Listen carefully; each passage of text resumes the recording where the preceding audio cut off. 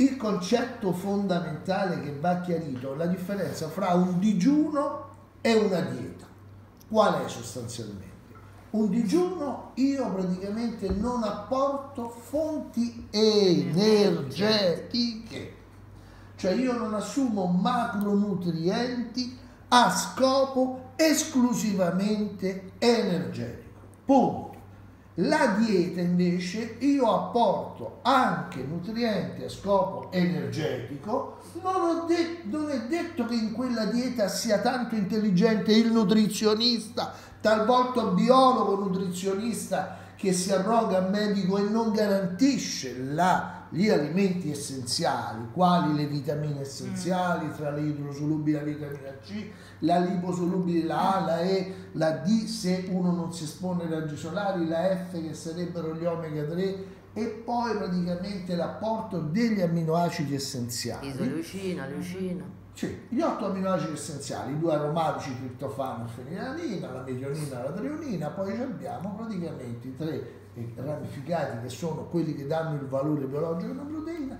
Quindi il concetto fondamentale tra digiuno e dieta è che il digiuno tu non fai apporto energetico, nella dieta tu fai un apporto anche energetico che può essere restrizione calorica più o meno ampia. Questa è la differenza sostanziale che esiste fra digiuno e dieta.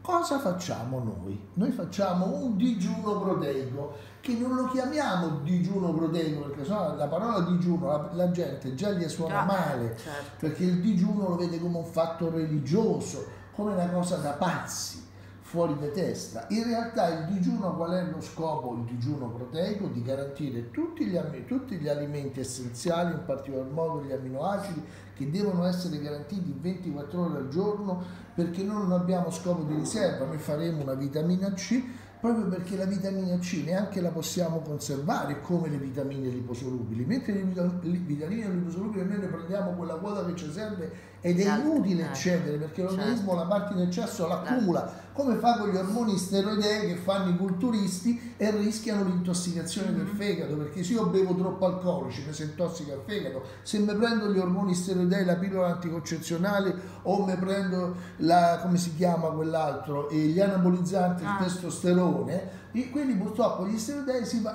si, vanno ad ammucchiare dentro il fegato oltre che nel grasso e formano il fegato grasso e possono dare tante problematiche.